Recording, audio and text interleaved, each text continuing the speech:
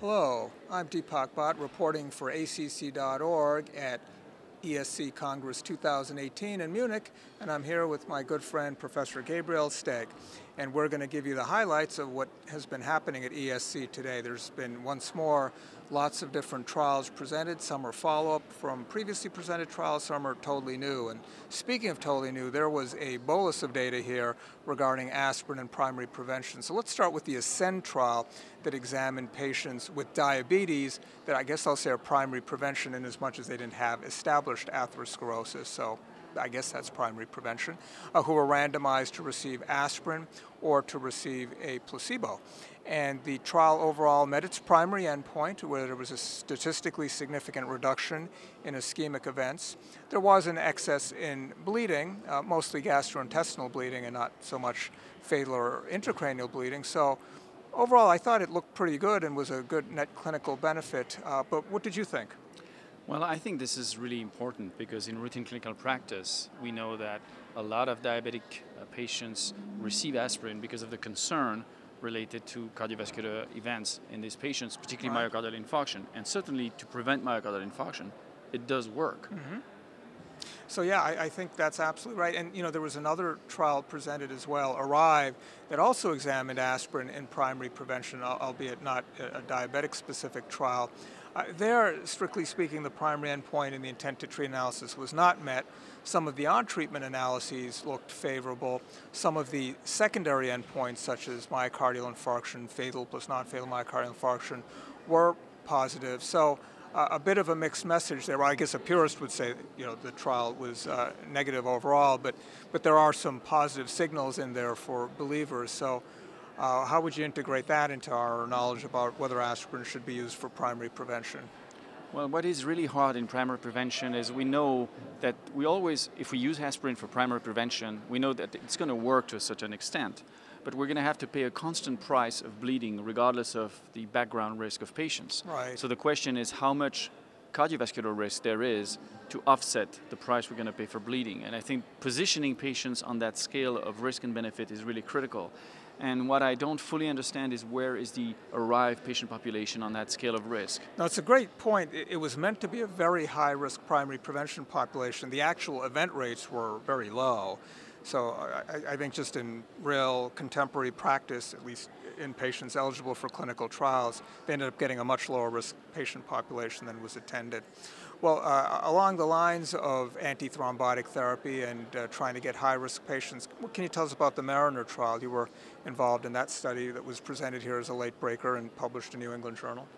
Yeah, Mariner is trying to study tried to study the issue of long-term antithrombotic prevention for uh, venous thromboembolism in patients who were medically ill and hospitalized. We know that mm-hmm. even during ho- hospital admission, patients at risk receive prophylaxis. Right. But we know that risks persist, at least in certain patients, beyond hospital discharge. So Mariner enrolled 12,000 patients who were recently discharged from the hospital for a medical condition putting them at risk for venous thromboembolism, and they were selected on the basis of the modified improved risk score as well as, as D-dimers. And those patients who were at highest risk were randomly assigned to either rivaroxaban using a standard dose of 10 milligrams once a day for patients with normal renal function, or a reduced dose of 7.5 milligrams a day for patients with a creatinine clearance between 30 and 50, mm-hmm. com- compared to placebo. And the primary outcome was a composite of symptomatic venous thromboembolism or fatal or death related to venous thromboembolism. And somewhat to our disappointment, there was a modest, non-significant reduction in the primary outcome with rivaroxaban. It's interesting to note that overall the rates of events were low, and I think somewhat lower than one might have anticipated, even with risk scoring. Mm. The key secondary outcome of non-fatal symptomatic venous thromboembolism was reduced with rivaroxaban. But as one would expect, there's always a price to pay when you uh, use an antithrombotic, even at a reduced dose, and major bleeding was increased by approximately 88% in patients receiving rivaroxaban compared to placebo. So overall, I think the study is not entirely negative, but certainly the primary endpoint was not met. And I think it doesn't argue for routine use of this treatment for prophylaxis, probably for selective use in patients at highest risk. Yeah, no, I think it's really informative, and it's surprising how in a lot of these trials the event rates don't seem to be as high as we think they should be. Uh, maybe it's just a function of who ends up getting into clinical trials.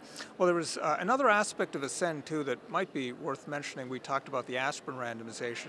There was also an omega-3 fatty acid, one gram versus placebo aspect, and that part of the trial, at least uh, on first uh, glance and first presentation, looked totally negative, uh, or I should say totally neutral. It's not that there was harm, but there was no evident benefit at all uh, on ischemic events. So you know, a lot of the uh, older data and observational data have been conflicting as far as whether uh, triglyceride reduction in omega-3s are beneficial, but this trial was pretty clearly neutral. I, I, guess I would just say with the caveat, you know, that was only a gram and uh, that's kind of low. Many people in the field think that a higher dose uh, would be necessary if there's going to be any benefit. A bunch of ongoing trials. We're involved with one of them, of course. And patients were not selected on the basis of having elevated triglycerides in the first place. So giving a low dose of a triglyceride lowering drug to patients who don't have necessarily elevated triglycerides might not be expected to work. I think overall the data so far is rather negative when you look at randomized trial data for these for these agents. But there are a couple of big trials that are coming up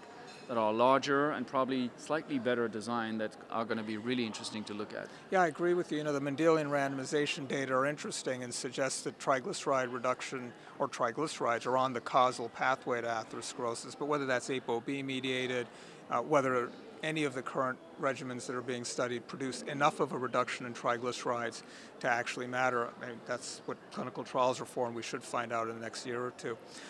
Good. Well, anything else that you think was really important? There, there was a TRICS-3 uh, trial update uh, looking at the six-month uh, data. The one-month data had been previously presented, just showing that a more uh, restrictive transfusion threshold was just as good as a more liberal one uh, for cardiac surgery patients, so, sort of supporting to be judicious and cautious in transfusing. Uh, what do you think about that? Oh, this is a really important question. we often disregard uh, the cost and, and potential harms of transfusion. Transfusion is not a benign therapy. It has right. cost and side effects, and we should be judicious in its use.